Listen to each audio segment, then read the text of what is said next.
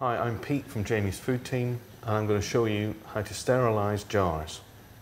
Now this selection of jars here I've washed thoroughly and I've left to drain upside down with the lids on a clean tea towel so they're as clean as I can get them before sterilisation.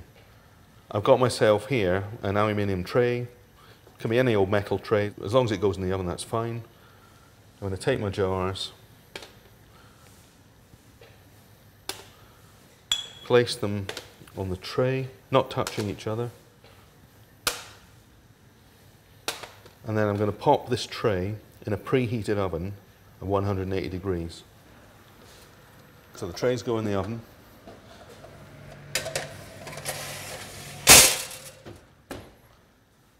So the jars go in the oven at 180 degrees for 10 minutes.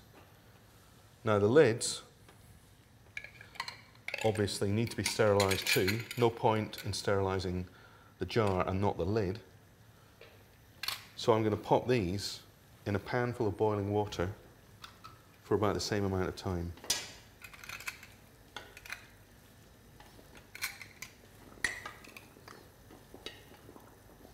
Nothing else in here apart from water. Just turn them upside down so they sink. There. After 10 minutes, I'm going to take my tray of jars out of the oven. They're nice and hot and sterilised.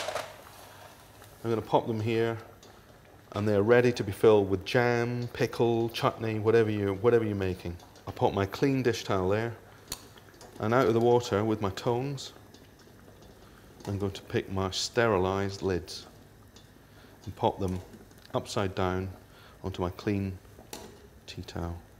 So here are my clean, hot, sterilised jam jars. And here I have my lids, which are sterilised and ready to be screwed on the top.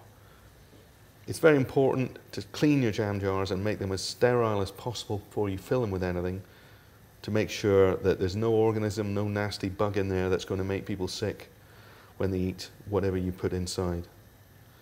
And that's how to sterilize jars.